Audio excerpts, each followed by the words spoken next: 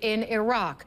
A year and a half after U.S. troops left the country, it's clear that those who said the war was over and the country would be stable on its own were very, very wrong. Instead, deadly fighting is engulfing Iraq, leaving many worried it may slip back into civil war. July marked the deadliest month in five years, more than a thousand dead and 2,000 injured. And the violence continued today a wave of eight car bombs exploded across Baghdad, mainly in Shiite areas, killing at least 25 and wounding 70 others. My next guest is Iraq's Foreign Minister, Hoshyar Zebari. In the face of spiraling sectarian violence, political conflict, and a growing threat from Al Qaeda, thanks for joining us. Uh, Mr. Zebari, you met with uh, uh, John Kerry, the U.S. Secretary of State in Washington, D.C. this day. Uh, what did you talk about, especially, I'm sure, regarding the violence that is once again on the rise in Iraq? Yes, uh, Hala, we, it's good to be with you. We discussed with Secretary Kerry the situation in Iraq, the regional situation, development in Egypt, and also the spillover from the continue, continuation of the Syrian crisis into neighboring countries. Yes, as you said, there is a trend for uh, more heightened sectarian tension, as we've seen in, in, in Lebanon, in Iraq, and uh, participation mm -hmm. of uh, Hezbollah in the conflict and in Syria. And this, nobody can benefit from this. Really, there are forces who are encouraging this sectarian confrontation, but the ongoing Syrian crisis is going to lead to more instability and more unrest in the entire region. But what is the government, if I can ask you, the government of Iraq doing?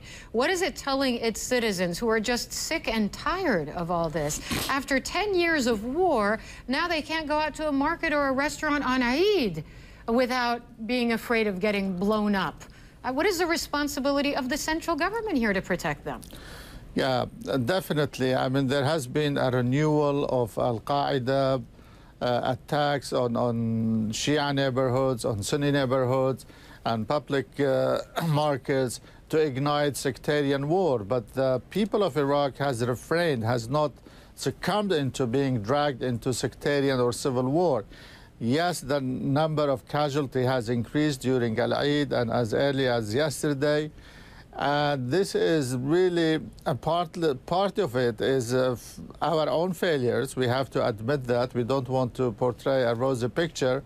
But the other part is the spillover of, of the conflict of sectarianism, of the nexus of Al Qaeda and Al Nusra uh, across the Syrian Iraqi borders. And we are here in Washington to discuss this issue very seriously, that Al-Qaeda uh, threat is not local, it's global. We've seen recently the closure of U.S. embassies throughout the Middle East and North Africa. And we've come to our American friends yeah. to seek their help and support to enhance our security capabilities, to encounter terrorism, to confront to this threat. But uh, the government is doing its best really to stem out the violence, but uh, this has to be accompanied by political and economic measures, something uh, my government is dead serious to do that. But uh, with respect, though, uh, Minister Zebari, and we've met before, once even we in have. Iraq, and this is the same thing you told me a few years ago. So what's different about now? Because a few years ago you were saying we need help, we need to increase security, but we need economic opportunity. And we're in 2013 now. No, the situation has changed, Hala. Since those days, I and General Petraeus came and knocked on your door, you see, in downtown Baghdad uh, during the search time. Uh, now the entire region is boiling. As you have been reporting, the whole dynamics have changed. The political system have fallen and uh, also the lack of leadership in the regions, really, whether regional or international. Uh, everybody is left to his own. Mm -hmm. And uh, therefore, it is very important to have regional, international cooperation to defeat Al Qaeda and uh, its affiliates like Al Nusra and elsewhere You've seen the, the bombing today in, in Lebanon is another indication that these forces are determined to ignite sectarian uh, civil wars in this country because that is the only atmosphere they can thrive But on. uh, uh, so you spoke with Secretary Kerry, and when the last American soldier left your country, Minister Zebari, uh, the Americans said, "We will not abandon Iraq. We are not cutting and running. You know, we're going to help Iraq on its path to stability." A, are they really doing that? A- And and B, if not, what do you want from the U.S. right now that they may not be providing at this stage?